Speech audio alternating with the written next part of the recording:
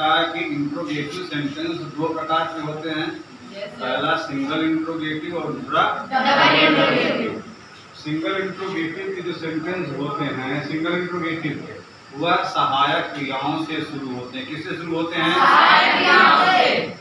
और इसको हम यस या नो टाइप भी कहते हैं। क्या बोलते हैं? यस या क्या बोलते हैं? इसका जवाब हम हाँ अथवा ना में दें जैसे देखो do you sing a song क्या तुम गाना गाती हो?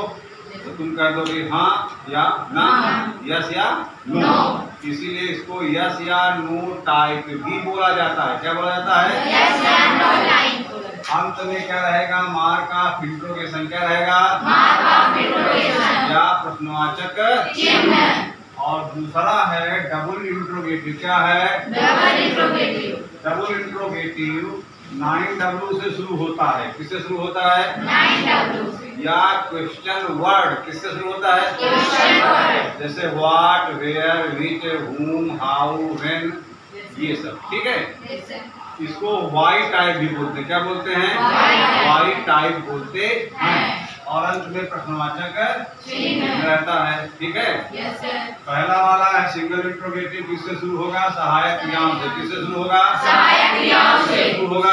सहायक क्रियाओं से। डबल इंट्रोगेटिव क्वेश्चन वर्ड से शुरू होगा। किससे शुरू होगा? क्वेश्चन वर्ड को मालूम है ना? सिंगल इंट्रोगेटिव को हम यस या नो टाइप बोलते हैं। क्या बोलते हैं? डबल इंट्रोगेटिव को वाइट टाइप बोलते क्या बोलते हैं? ये किससे शुरू होगा?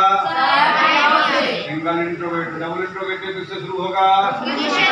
क्वेश्चन दोनों के ही अंत में क्या रहेगा? क्वेश्चन मार्क क्या रहेगा? किसी कोई दिक्कत? बहुत बहुत धन्यवाद हो।